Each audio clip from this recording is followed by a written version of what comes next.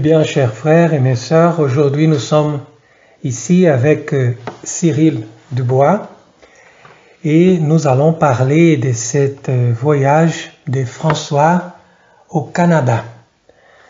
Donc euh, en fait, c'est un sujet très polémique parce que du coup, c'est l'éducation des enfants, c'est la mentalité de l'Église avant les conciles et la mentalité moderne révolutionnaire. Donc, euh, qu'est-ce que c'est les, les, faits en soi-même? Eh bien, il y a un an, le 27 mai 2021, euh, on a annoncé la découverte par Géoradar de ce qu'on a décrit comme les restes de quelques 200 enfants -hmm. autochtones qui avaient disparu. -hmm. Et ces enfants auraient été enterrés euh, dans un cimetière secret euh, situé dans un verger près de l'ancien pensionnat des Oblats de Marie Immaculée, qui est établi dans la réserve de Kamloops en colonie euh, britannique. Voilà, donc c'est ça que les médias ont essayé de passer aux gens. Et ça, en fait, a créé une révolte parmi les Canadiens qui ont commencé à brûler les églises. Et vous savez, et Trudeau, il était d'accord. Donc il disait qu'il avait une douleur dans son cœur pour penser à ses enfants. Et selon lui, c'est, c'est un épisode le plus noir de l'histoire du Canada. Donc en fait, les médias ont profité de toutes ces histoires pour encore faire une guerre contre le catholicisme. Contre l'image de l'Église. Voilà. Donc euh, après, ils ont passé toutes ces informations d'une façon terrible et, les gens étaient vraiment étonnés d'entendre que tous ces missionnaires pourraient être tellement méchants avec des enfants, n'est-ce pas? Alors, euh, au début du, du 19e siècle, en fait, l'État canadien avait mis en place un programme d'assimilation forcée pour, les, pour ce qu'on appelle les natifs là-bas, donc euh, les, mm -hmm. les, Indiens d'Amérique euh, originaires du Canada. Ils arrachaient leur famille. Les enfants hein, ils étaient alors scolarisés de force dans des établissements catholiques. Mm -hmm. Ils n'avaient plus le droit de parler leur langue. Euh, ils devaient renoncer à leur identité. Ça, c'est ce qu'on reproche. -hmm. la violence, les viols, les maladies sont, sont, monnaie courante. En fait, c'est ce qu'on dit, mais ce dont on se souvient pas, c'est qu'en France, par exemple, la République française a fait, a fait, exactement la même chose avec les enfants de, de toutes les régions de France qui parlaient euh, d'autres langues que le français. Mais vu que c'était un vieux projet de la République d'unifier, enfin de créer un peuple en fait euh, français qui parle une même langue, euh, le français justement. D'accord. Personne ne les reprochait. Non, ça, ça n'aura pas été reproché. Alors que sous l'ancien régime, chaque région avait ses coutumes et sa langue propre, et ça marchait très bien comme ça, même si on utilisait le français euh, comme la langue commune. Voilà, comme la langue commune, mais ça n'empêchait pas d'avoir les deux, les deux en même temps. Alors que le projet de, de la République, c'était vraiment d'uniformiser euh, le peuple, de ne faire plus qu'un seul peuple, et qu'il n'y ait plus plusieurs peuples différents avec chacun, chacun leur histoire, quoi, pour faire justement pour faire une nouvelle histoire de France, avec euh, l'idée qu'en France, il n'y a qu'un seul peuple. Mais ce qui est, ce qui est faux. Et voilà, donc, donc, si la République travaille comme ça, n'a pas de problème. Oui, Mais oui. si au Canada, on commence à enseigner les enfants le, le français, par exemple, oui. ou l'anglais, on ne peut pas. Il faut les laisser avec leur langue native, c'est ça? Je, pense plutôt que ça fait partie d'un projet euh, mondial de, globalisation pour avoir plus qu'une seule, euh, une seule façon de penser. Et donc, euh, il était important pour le gouvernement canadien aussi de supprimer l'identité des, des, des, personnes, des personnes qui étaient natives de, de ce pays. Mais si, si, après on peut le faire euh, reprocher ça à l'Église, du coup on reproche ça à l'Église, alors que l'Église, ça n'a jamais été son projet de que tout le monde parle la même langue. Voilà. Depuis que l'Église a été créée, il y avait la langue de la liturgie, et les peuples, on les laissait parler la langue qu'ils voulaient. L'Église, elle a aucun intérêt à ce que. Voilà. Donc c'est c'est plutôt une confusion des idées parce que du coup, c'est un projet du gouvernement qui, à mon avis, l'Église a soutenu parce qu'il fallait donner de, une éducation. Voilà. Et l'Église avait aussi le but de, euh, de donner la, la, religion à ses enfants. Oui, oui. Donc elle a soutenu le projet du, gouvernement canadien à cette époque, mais ça ne veut dire que c'est l'Église qui a fait mm. cette euh, euh, scolarisation forcée, comme ils disent. Et, et on ne peut pas reprocher l'Église de, de, couper la culture de tous ces autochtones. Non, puisqu'on voit quand euh, l'Église euh, va quelque part et qu'elle prêche, elle, elle supprime pas la, elle supprime pas la culture de, du pays. Enfin. Bah oui. Mais mais c'est incroyable, c'est qu'ils disent. Vous, vous, vous continuez oui. pour qu'on puisse savoir. Donc ici on a un, un témoignage de Rose Miller qui dit euh, ici quand on était puni, on devait nettoyer les escaliers à la brosse à dents. Voilà, donc les gens qui écoutent ça, ils, ils restent étonnés, ben, ils étaient tellement châtiés, vous voyez Oui. comment ils ont un régime de terreur. C'est ça. Mais si on se rappelle, dans toutes les écoles, même si elles n'étaient pas catholiques, Bien sûr. avant, on avait des châtiments comme ça. Ça, c'est- ça a été normal. Ah oui, oui, oui. Ça, dans un couvent, c'est normal si vous faites quelque chose euh, tort. Vous, vous, vous prenez une brosse à dents pour nettoyer les- l'escalier. Ça, c'est une façon de corriger Oui, la personne. Et même, même, même euh, dans les écoles euh, françaises, bon, je parle des écoles françaises parce que je connais les écoles de la République, c'était pareil, euh, il y avait des, des châtiments. Bah oui. euh, L'enfant qui qui avait pas appris sa leçon, on lui mettait un bonnet d'âne, il était euh, au piqué, ou euh, des fois on les mettait à genoux sur une règle, euh, oui. on leur tapait sur la tête. Enfin, euh, j'ai vu ça quand j'étais petit à l'école. Voilà, et je trouve tout à fait normal parce que la Bible nous dit que c'est malheureux les pères des familles qui ne châtient pas ses enfants. Donc aujourd'hui, ils pensent que les châtiments, c'est mauvais en soi-même. Oui.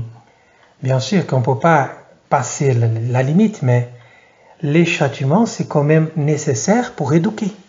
Si on n'a pas, on n'a pas la possibilité de, de, de donner la correction. Oui, et puis des fois, euh, la violence euh, verbale, elle est encore pire que euh, une- qu'une maman qui va mettre une fessée à, à son petit enfant parce qu'il a fait une bêtise. Oui. Après, on passe à autre chose, on n'y pense plus. Alors que si, euh, comme, on- comme voudrait le faire l'État français, il est interdit de, de- de donner une fessée aux enfants, euh, et qu'on va au contraire être très très dur avec lui verbalement, c'est des choses qui vont rester. Puisque Mm. les mots, c'est il n'y a rien de pire que les mots. Pour, euh, pour un enfant, euh, c'est encore plus violent que qu'une Et- simple et- fessée. Et il n'a pas le même pouvoir d'éducation. Oui, en plus, oui. Parce que ça, c'est des choses qui viennent dans toutes les civilisations du passé.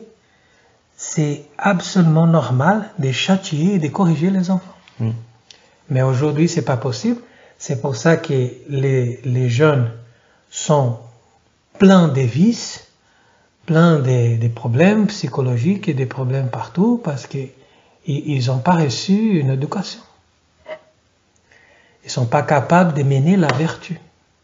Tandis qu'au Canada, ils avaient des écoles pour les enfants qui voulaient vraiment entrer dans, dans les cadres de l'Église catholique, c'est-à-dire d'une vie morale, d'une vie de vertu.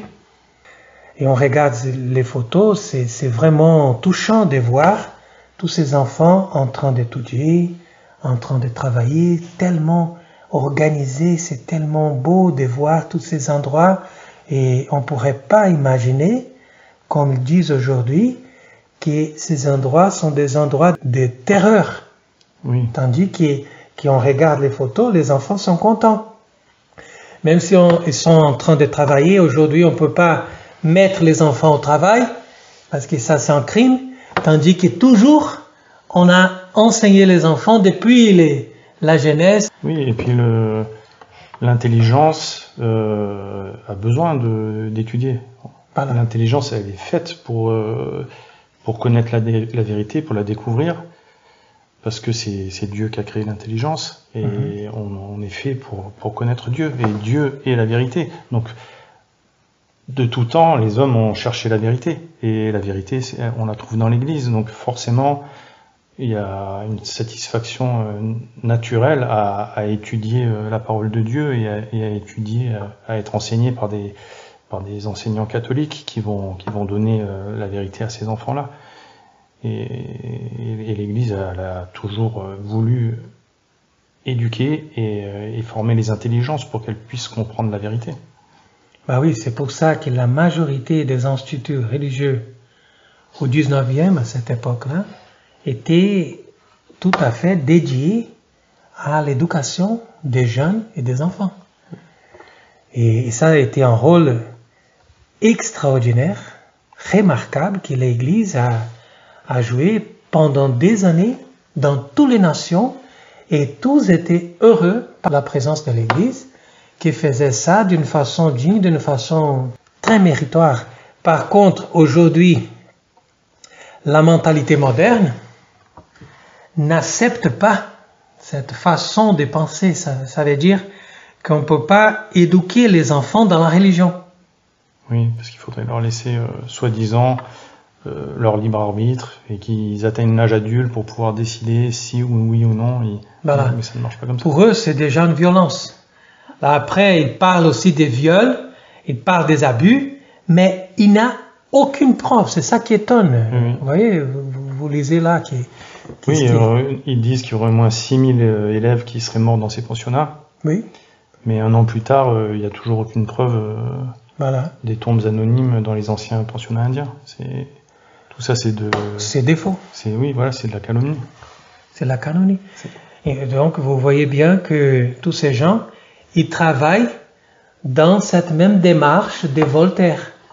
Parce que c'est Voltaire qui disait qu'il faut mentir et mener cette mensonge et toujours. Je, crois qu'il dit mentir, euh, mentir comme un diable, il en restera toujours quelque chose. Toujours reste quelque chose. Mm. Donc c'est comme ça qu'ils font. Oui, oui, mais ils n'ont aucune scrupule à, le faire. Eux, ils ont un but à atteindre et puis euh, tout est permis pour atteindre ce but. Euh. Et voilà, et donc nous sommes obligés de défendre l'Église catholique parce que du coup les gens ils disent bah, l'Église a tué tellement de gens, des inquisitions, des choses comme ça, l'Église est mauvaise, l'Église est méchante. Tandis que non, c'est l'Église qui a donné la civilisation, c'est l'Église qui a donné la culture, c'est l'Église qui nous a donné la foi. Et surtout, le salut des hommes, c'est ça le but. Et, et pour tous ces gens, l'Église, elle a a cassé leur culture, elle a enlevé les enfants de leur religion, tandis qu'ils étaient en train d'adorer Satan. Donc, pour eux, c'est mieux laisser les enfants dans les fausses religions que les amener à des pensionnats catholiques pour qu'ils puissent mener et imaginer. forcément, puisqu'ils sont des ennemis de la vérité. Ah mais, mais c'est vrai que c'est l'Église qui a qui a, qui a fait interdire l'esclavage. C'est avant, avant qu'il y ait l'Église, il y avait toujours eu l'esclavage. C'est dans les sociétés catholiques qu'il n'y a plus eu d'esclavage. C'est il y, a eu, il y a eu des gens qui ont commencé à vouloir faire des, des Indiens d'Amérique des, des, esclaves. Et le pape. C'est le pape Paul. Paul III, oui, c'est ça, avec euh, Sublimis Deus, Samuel, qui a dit que justement, par rapport à l'intelligence qu'on voyait chez les, chez les Indiens, qui cherchaient à, connaître la vérité, qui était attiré par la vérité de, de l'évangile. Il, il, a dit non, ce sont des, hommes comme nous, mhm. et il n'y a aucune raison d'attenter de, à leur bien, à leur, à leur liberté. Il faut les, on n'a pas le droit de, les, de les mettre en esclavage. Et ça, il n'y a que l'Église qui, qui s'est opposée à, à ces choses-là. De la même manière, l'Église a inventé les hôpitaux, les orphelinats, euh, tout, tout, ça, ça, n'existait pas dans les sociétés païennes. Et à partir du moment où, on a, où ça fonctionnait bien, enfin, par exemple en France, les hôpitaux étaient tenus par les, des religieux et des religieuses, c'était gratuit, ça fonctionnait bien. On a dit non, on, chasse les, les, congrégations religieuses des hôpitaux et tout ça. On n'a qu'à voir le résultat aujourd'hui. Euh, la société, c'est la, catastrophe. la catastrophe. et au niveau d'éducation, c'est encore pire. Oui, au niveau de l'éducation, c'est encore pire, oui, parce que euh, la vocation de, des religieux qui s'occupaient de d'éduquer les enfants, c'était vraiment d'éveiller leur intelligence et de construire leur intelligence, de leur apporter euh, ce qu'il faut pour raisonner euh, convenablement. Alors qu'aujourd'hui, avec l'éducation nationale, c'est un sabotage des, des intelligences, qui est, c'est un sabotage en règle. Tout est fait pour que les enfants n'aient aucun repère historique, pour que les enfants ne soient pas capables de, de raisonner convenablement, euh, enfin, c'est, ils savent même plus euh, orthographier correctement. Euh, il y a des élèves qui arrivent au bac qui savent à peine lire. Enfin, c'est, vraiment la, catastrophe. C'est la catastrophe. Mais c'est mené par l'État, c'est, volontaire, c'est pour que, ah pour, c'est justement pour avoir un, un peuple qui soit pas capable de réfléchir et qui accepte tout du moment qu'on lui laisse se gaver d'écran, avoir le ventre plein, tout va bien. S'ils si, ont ça, c'est ça. Voilà, et c'est pour ça qu'il y a tellement de répercussions, cette fausse propagande, parce que comme les gens ne sont pas capables de réfléchir, donc les médias peuvent dire ce qu'ils veulent et personne va chercher la vérité. Personne va se renseigner pour savoir, écoutez, est-ce que c'est vraiment comme ça? Et le résultat, c'est la haine de, l'Église catholique. Oui, parce qu'on voit même, euh, même avec euh, Bergoglio, quand il s'adresse aux gens, il s'adresse à, il veut faire réagir euh, leurs sentiments. Oui.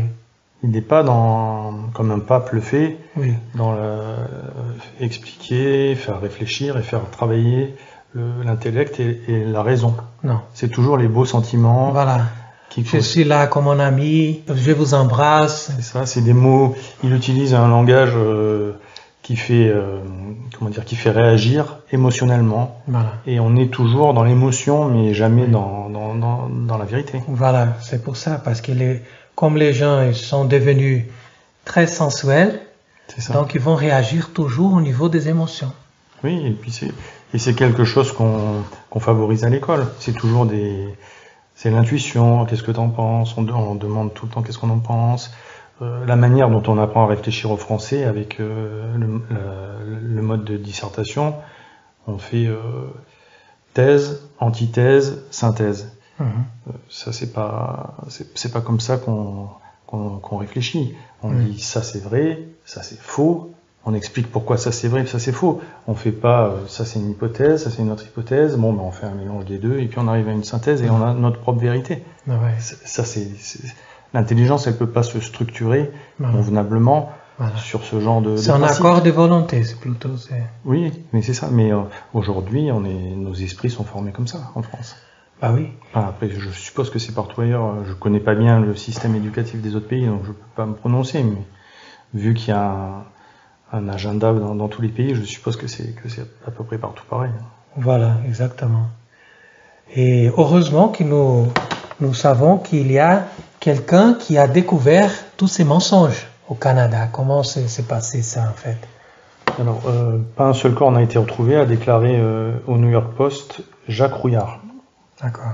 Qui est professeur émérite au département d'histoire de l'Université de Montréal. D'accord.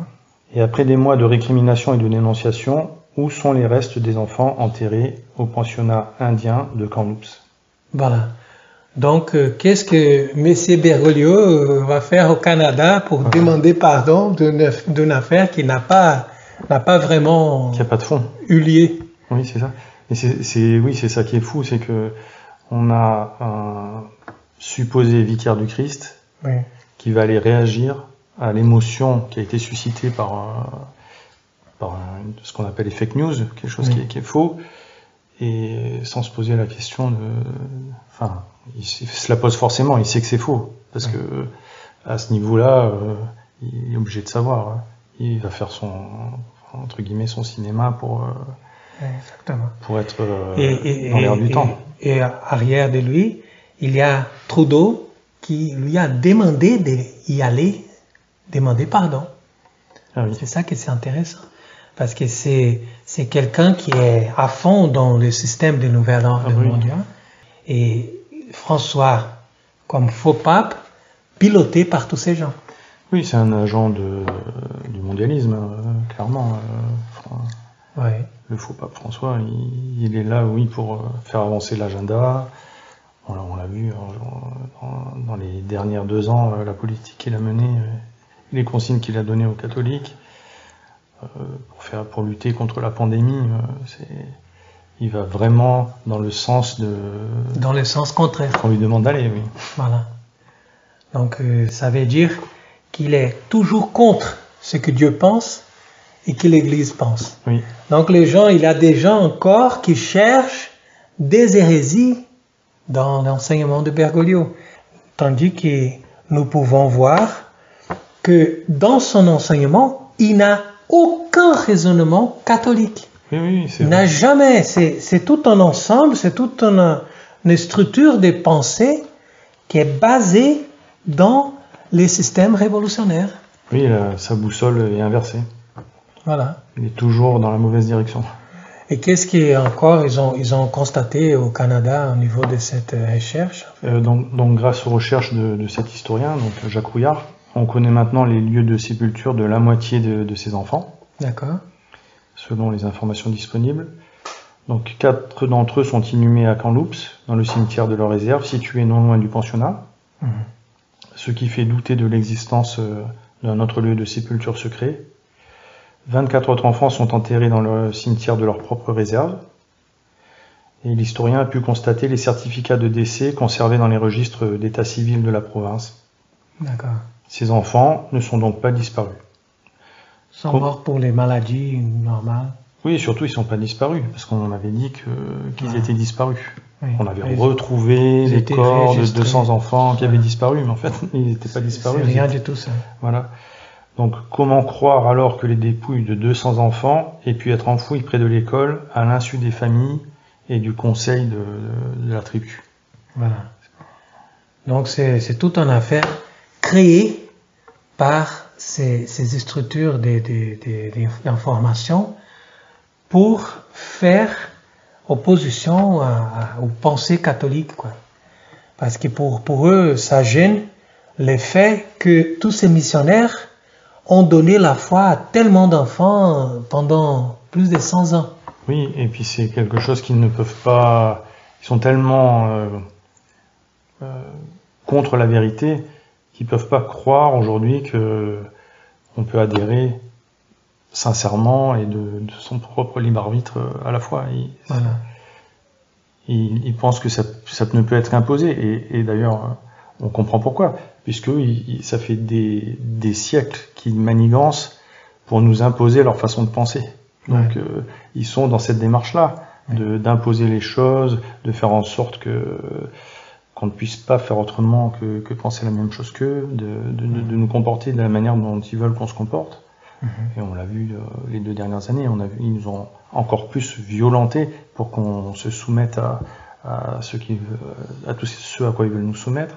Donc ils ne peuvent pas, ils, ils ont, ils peuvent pas croire qu'on puisse adhérer euh, librement parce que on est attiré par, par l'amour du Christ, parce que c'est tellement beau quand on rencontre le Christ, qu'on le voit, la manière dont, dont il nous aime, dont il s'est sacrifié pour nous, qu'on a un élan vers lui. Et eux ne peuvent plus concevoir ça, ils sont tellement euh, à l'opposé de, de ça. C'est ça, je trouve que qu'ils ont fantasié toutes ces histoires parce que ils peuvent pas considérer que ces enfants ils étaient heureux ça. pour recevoir la parole de Dieu, pour recevoir une culture, une éducation catholique qui était tout à fait d'accord avec les, les systèmes de l'époque, de- d'éducation française, anglaise, je sais pas quoi. Mais pour eux, ce qu'il fallait garder absolument, c'est leur culture originelle Oui. native. Et pourquoi? Parce que pour eux, euh, les plus vous êtes loin de, de, de, de l'Église catholique, vous êtes plus, on peut dire, dans, dans le sens correct de la vie. C'est ça, ils, ils, ils ne peuvent pas comprendre, la, enfin, ils, ils ne voient pas la, la joie des chrétiens. Voilà. Ils ne voient pas que les chrétiens, ce sont pas des gens euh, tristes. enfin, on est, les chrétiens sont des gens heureux, des gens joyeux. Ils ont, ils ont la paix de l'âme et, et ces natifs qui étaient éduqués à la religion chrétienne, quand ils l'ont découvert, ils, ils, en ont éprouvé eux aussi de, du bonheur. oui, mais c'est ça que je trouve étonnant parce que selon j'ai lu, c'est le chef de la tribu, lui-même, en natif, qui a demandé de faire cette école-là. Et pendant toute sa vie, il respectait les pères, les prêtres, il participait de la messe, il était un chrétien dévot et ça montre qu'il voyait rien d'étrange, de, de, de, violent parmi les prêtres, parmi les religieuses et ça montre tous les registres de l'histoire, ça montre que tous les natifs étaient contents avec la présence des religieux chez eux. Donc euh, nous n'avons aucune preuve matérielle de cette présumée découverte. Mhm. Le, le géoradar est une technologie qui n'identifie pas directement les restes humains. Ça peut être euh, autre chose. Et selon l'anthropologue qui a fait la recherche, seule une excavation serait probante. Donc il faudrait qu'il déterre tout ça. Mais la communauté autochtone locale est divisée sur le sujet et on peut douter sérieusement que des fouilles puissent avoir lieu qui donc établira la vérité de, ces faits. Voilà, euh, ça veut dire que c'est des hypothèses qu'ils ont créées comme ça, euh, librement, et ils ont utilisé ça comme des faits, comme des choses sûres et certaines pour attaquer l'Église catholique. Et au lieu de défendre l'Église du passé, l'Église de toujours, François, il vient chez eux pour euh, les, les confirmer dans cette mensonge et demander pardon. Oui, parce que si le, pour les catholiques qui pensent que ce monsieur est, le pape, s'il vient dire que s'excuser, c'est que c'est forcément vrai.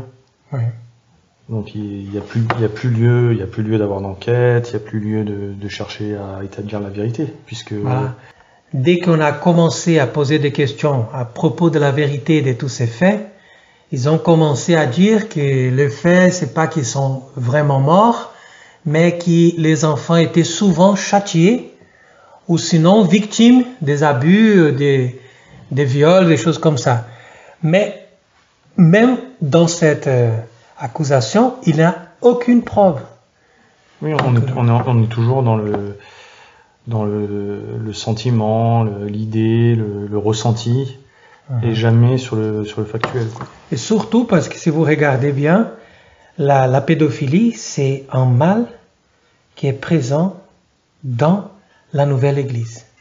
Tandis que l'Église catholique d'avant n'avait pas ce euh, problème-là. Donc on ne va pas trouver normalement dans l'histoire de l'Église des accusations de pédophilie. Tandis que après Vatican II, ça s'est répandu partout. Et les pédophiles sont élevés, même montés des hiérarchies, dès qu'ils travaillent ensemble dans la même démarche, dans un réseau, en fait, secret et pédophile dans les systèmes de l'Église conciliaire. Oui, il y a pu y avoir dans le passé hein, des, certains prêtres qui peut-être qui ont, qui ont été pédophiles, ça, ça a pu arriver. Mais euh, l'Église, à cette époque-là, prenait les sanctions euh, qui s'imposaient. Mhm. De la même manière que s'il euh, y avait des prêtres homosexuels qui étaient découverts, elle prenait les mesures et les sanctions qui, se, qui étaient adaptées. On voit, c'est Saint Pie V qui, a, qui avait écrit une constitution Horrendum illud scelus.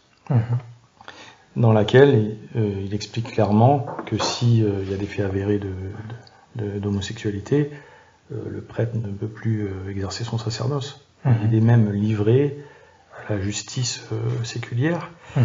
qui souvent à l'époque condamnait à mort le crime de sodomie. Donc l'Église d'avant, la vraie Église, l'Église catholique, n'a jamais toléré ça dans ses rangs. Aujourd'hui, ce qui est grave dans l'Église, la, enfin, la fausse Église de, de Vatican II, c'est que ça n'empêche pas un prêtre de continuer à, comment dire, à exercer son sacerdoce. Et même avec les réseaux d'homosexuels, ça l'aide plutôt qu'autre chose. Mmh. Et euh, la hiérarchie, euh, tout en haut, ne fait rien pour mmh. euh, condamner ça. Il y, a des, il y, a des, prêtres qui ont été accusés de viol euh, sur, sur, sur, des, sur, des jeunes, sur des jeunes séminaristes et tout ça, qui ont, qui ont été protégés par, euh, par, par, Bergoglio au, au, début.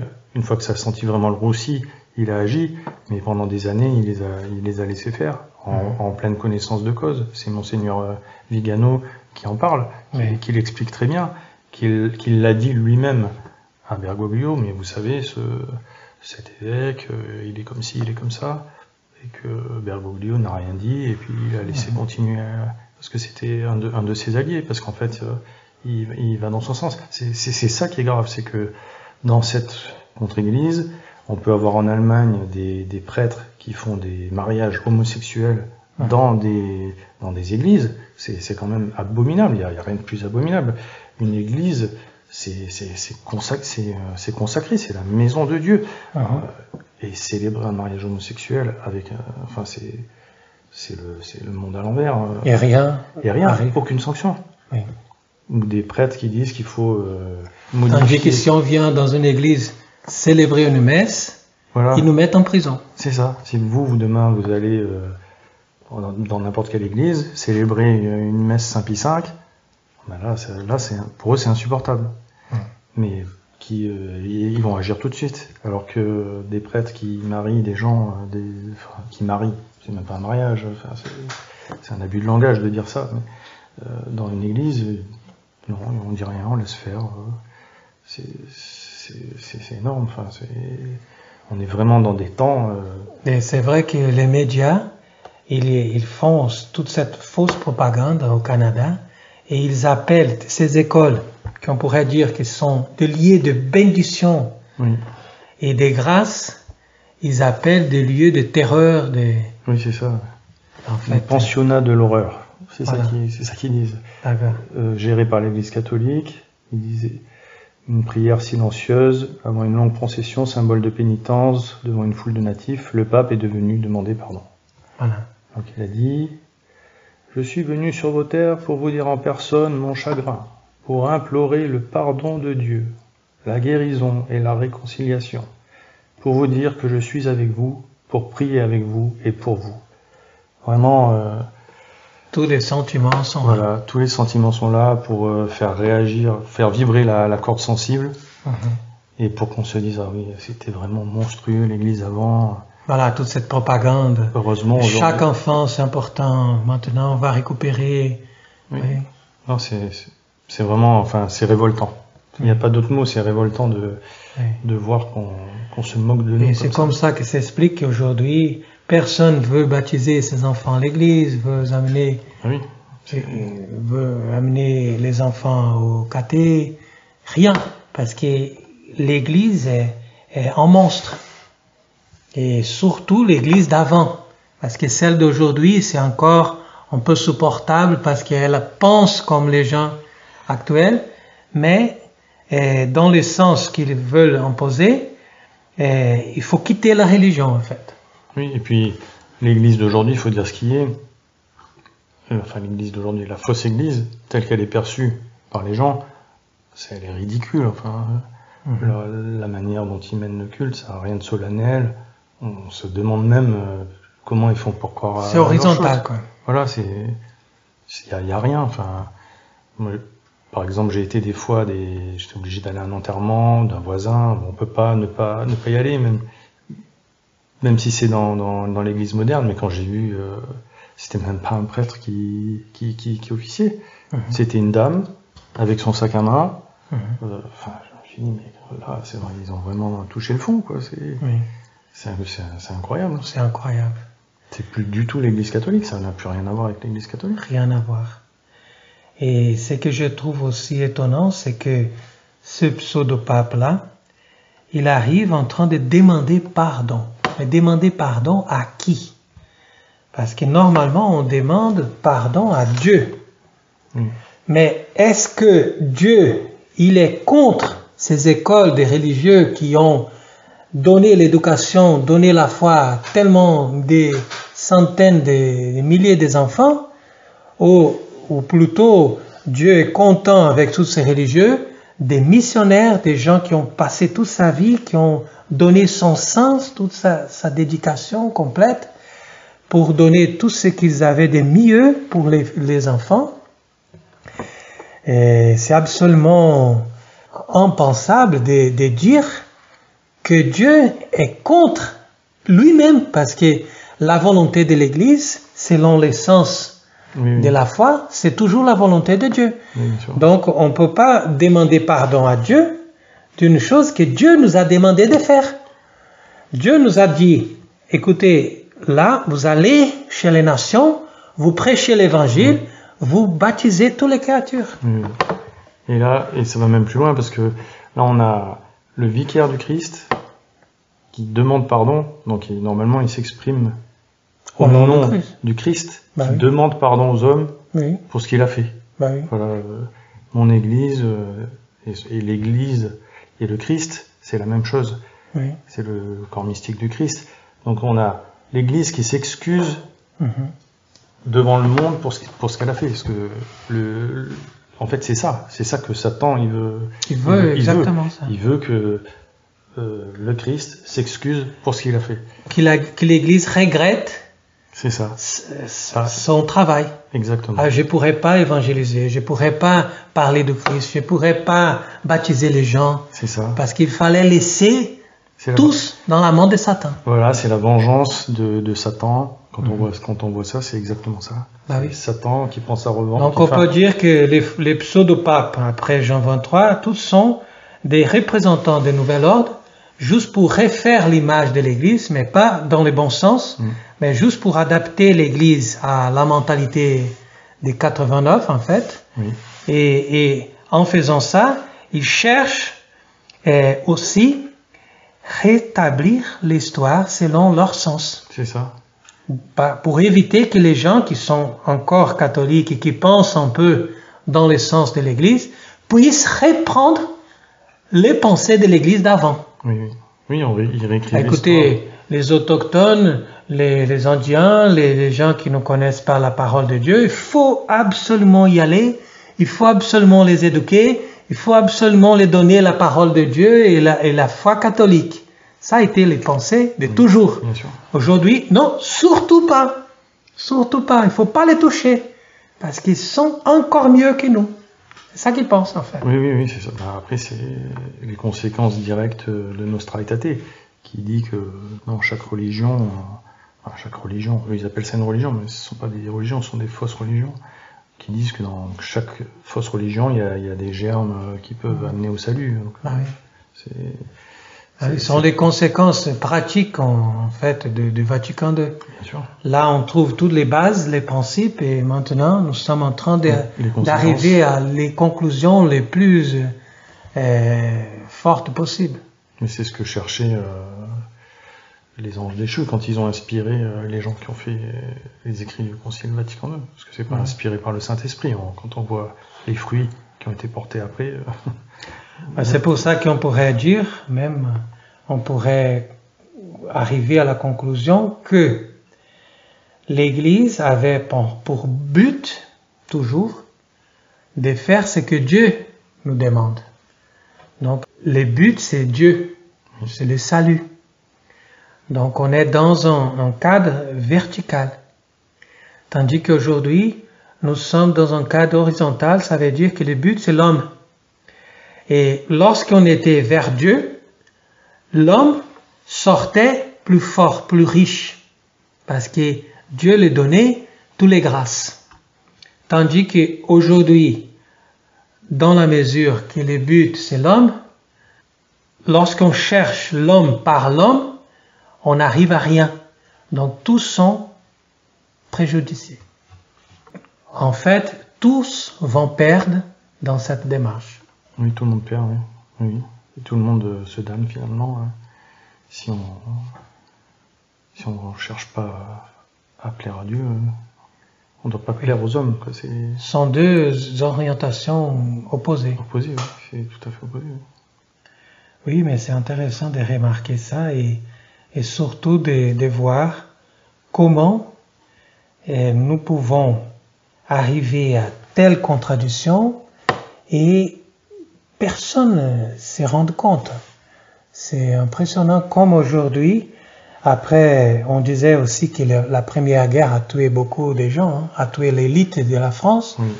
et vous disiez aussi euh, L'épuration après. euh, qu'il y avait la dépuration après la Deuxième Guerre. Oui, oui, ah bah oui. Les, communistes ont profité euh, après la guerre pour euh, régler leurs comptes euh, aux élites catholiques. hein. Donc ça veut dire que les gens qui pensaient encore, ils ont essayé d'éliminer. Tout à fait. Par contre, nous aujourd'hui, on peut faire quelque chose, on peut penser quelque chose, mais on trouve très peu de gens qui, qui sont capables de, de voir clairement tous ces, ces sujets.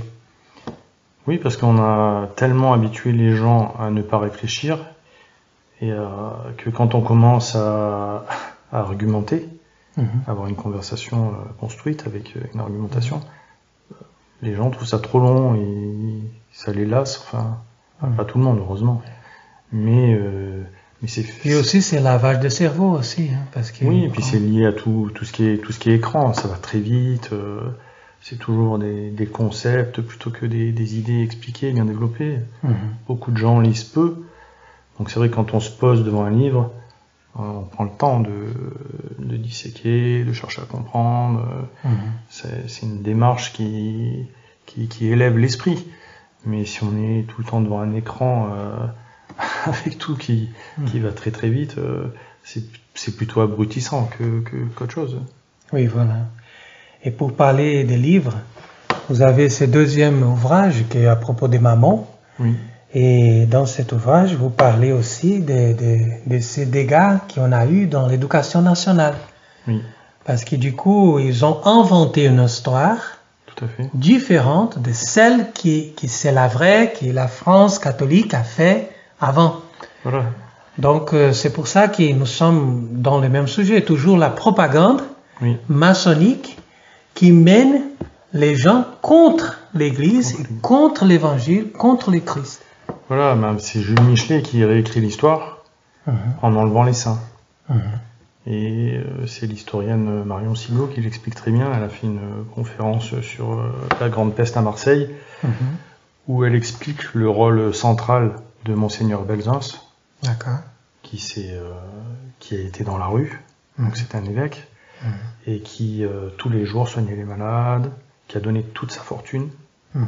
pour euh, qu'on puisse soigner les malades, pour qu'on puisse leur donner à manger, qui a même demandé à ses amis de, de, ben, de, de donner plus d'argent pour pouvoir venir euh, pour pouvoir subvenir aux besoins de cette population qui était euh, enfermée dans Marseille. Mhm.